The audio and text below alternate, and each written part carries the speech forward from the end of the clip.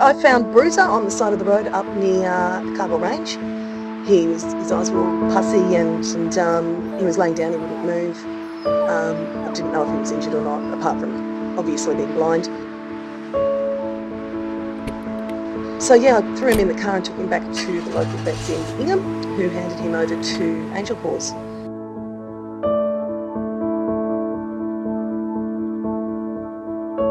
Since then, I did fundraising for about 10 months and raised about $14,000 on my own. And um, then somehow ended up president. So it's gone from finding a dog on the side of the road to president in, oh, geez, that was less than a year.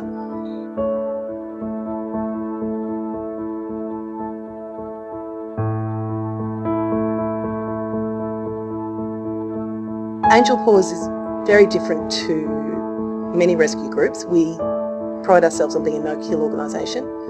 We have all of our animals in foster homes. We don't have a shelter.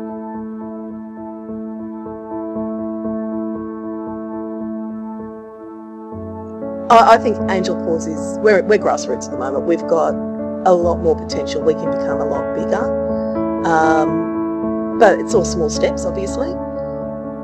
My personal vision for Angel Paws would be to have our own clinic so that we can actually offer cheaper desexing. Having said that, another vision for me is that we promote more awareness for desexing.